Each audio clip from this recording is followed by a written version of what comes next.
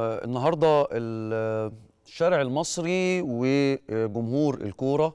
واللي متابع من فتره أخبار اللاعب المصري احمد رفعت. النهارده كان في صدمه كبيره لكل الشارع المصري ويمكن زميلنا كريم رمزي كتب النهارده على حسابه انه لم يصدم في تاريخ الرياضي زي ما اتصدم النهارده بخبر وداع احمد رفعت صانع العاب فريق مودرن سبورت اللي فارق الحياة النهارده الصبح عن عمر 31 سنة. بعد طبعا تدهور حالته الصحية بعد الوعكة اللي تعرض ليها قبل كده في شهر مارس الماضي في مباراة فريقه أمام الاتحاد السكندري يوم 11 مارس تحديدا ويومها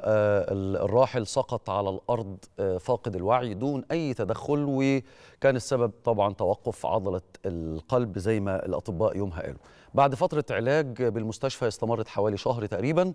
أحمد رفعت الراحل أحمد رفعت غادر المستشفى لاستكمال العلاج في بيته مع التشديد من الأطباء على عدم قيامه بأعمال تتطلب أي مجهود بدني كبير لكن هذه هي الأقدار وهذه هي الحياة. سبحان الله الناس النهارده كانت بتقول إن هو بعد ما تم شفائه وخرج وكان في صور متداولة ليه لزيارة الفريق يعني أجل الأجل ميعاده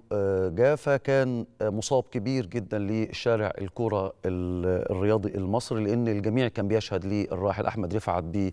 بالروح الرياضية والأخلاق العالية. النهاردة تم تشييع جثمانه في محافظة كفر الشيخ بحضور الألاف من زملائه والشارع الرياضي وكل الجمهور.